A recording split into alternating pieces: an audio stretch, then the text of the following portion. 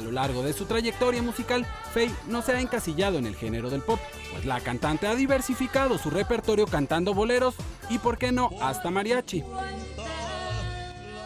Todo esto con el fin de llevar a su público diferentes estilos y ritmos, encargándose ellos de la elección final. Al final yo creo que los artistas acabamos definiéndonos mucho en, un género en especial, ¿no? ¿Por qué? Porque las personas o la gente dice, esto es lo que me gusta de él, eso es como lo veo, no es lo que mejor le queda.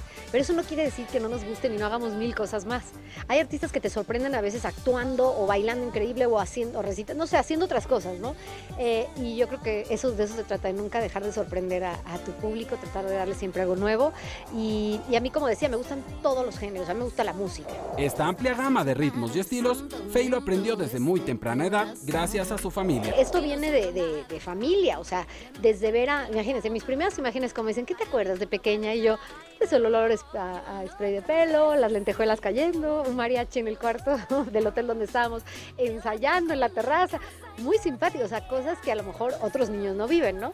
Estar con mi abuelita y de, ya puedo ir a ver a mamá, sí, espérame, que está ahí ensayando, ¿no? Entonces ibas atrás del escenario y todo eso vas eh, aprendiendo y vas viviendo y vas absorbiendo toda esa música que, se va quedando contigo, que es música que no te corresponde porque estás muy pequeño y todavía no es cuando tú estás explorando tus gustos, que es a la adolescencia. Sin embargo, se va quedando en, ti. Entonces ya en la adolescencia yo ya traía mucha historia de cosas que ni me tendrían por qué haber tocado.